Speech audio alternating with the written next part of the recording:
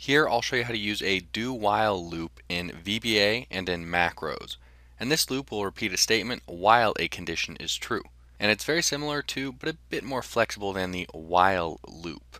As well, this loop provides the possibility to check conditions at the beginning of the loop or at the very end of the loop. So let's go to Excel and get started. In this tutorial, I'll be using two keyboard shortcuts, Alt F11 to open up the VBA window, and Alt F8 to view and run macros. So let's go to the VBA window and get started with a loop. Alt F11, insert a module.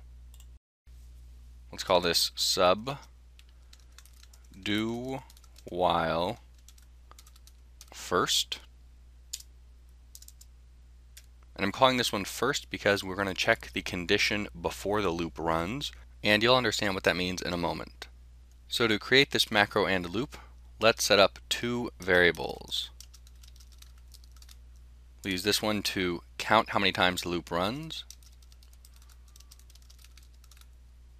and the number will be in our condition. So let's set count equal to 0 and number equal to 10.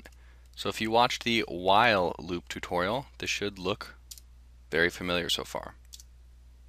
So now we're going to write the actual do while loop.